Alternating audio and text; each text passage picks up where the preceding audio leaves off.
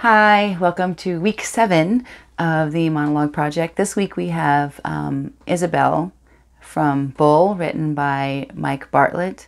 Uh, another long one. Uh, uh, what's interesting about this one, A, I just, I love bitchy people so much. Um, but despite that, um, the really interesting structure of it is there's very little punctuation. Um, so you really do have the opportunity when you have a piece like this to sort of go, no, I want this section to go together. I want this section to go together. Um, I do recall having read somewhere that um, Christopher Walken actually does this with his scripts. He's, he'll take a script and he'll take all the punctuation, and he'll toss it away, and then recreate it sort of in his own image, which is how he gets that cool cadence. So that happens with this one, so that's kind of fun. And uh, I have an audition that I need to submit for this week, and I'm actually going to steal part of this one for that audition. So there you go. So that I think that's kind of proof in the pudding. So um, this week it is Bull uh, written by Mark. See, I can't even talk. Uh, Bull, written by Mike Bartlett. Isobel.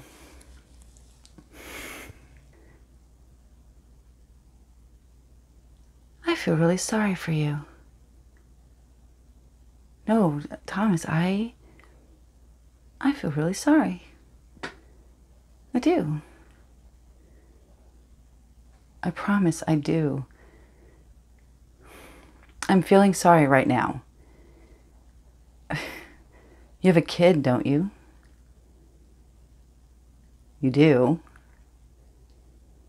I know you do. So, so you don't have to hide it. You have a kid. Yeah.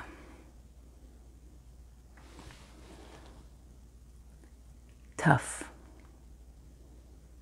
What's its name? Is it Harry? It is Harry. I know it is.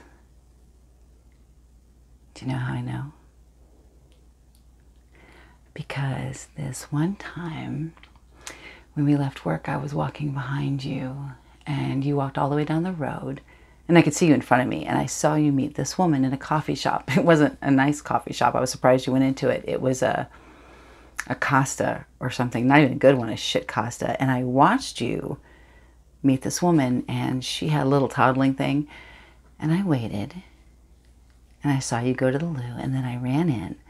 And I said, Oh, I was hoping to catch you. And I pretended I was in a hurry, and I had a little chat with um, Marion. Is that her name? Your ex? Mm-hmm. And she told me about Harry. And I said I was a colleague and you were taking ages in the toilet. Actually, we talked about it. We didn't know what you were up to in there, but it meant that we had a good talk about you. And in the end, when you still didn't come out, I said I needed to dash and I'd catch you tomorrow instead. But that conversation with her, that gave me a lot of crucial information, which I've always known when you tried to hide things or lie or whatever. I have always known about your life, things that you don't know, I know. I know that you have to pay Marion a certain amount every month. And when she hears that you are out of work, her low estimation of you will drop even further. It will, I promise. She won't be surprised.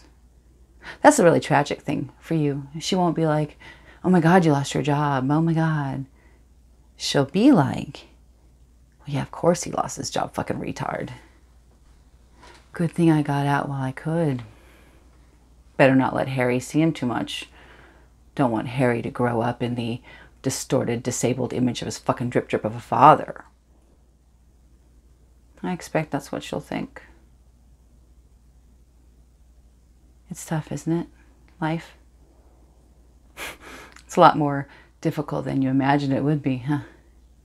I mean, I'm sure you thought it was difficult, but that through sheer hard work and practice and training and long hours and inspiration, and in your case, perspiration, you would come through and in the end succeed because you thought that despite everything, it was, well, in this country at least, a meritocracy. and that fair play and honest, transparent behavior at work would be rewarded in the end. That bad people like me would fall to the wayside and good people like you would triumph. That's what you thought, isn't it?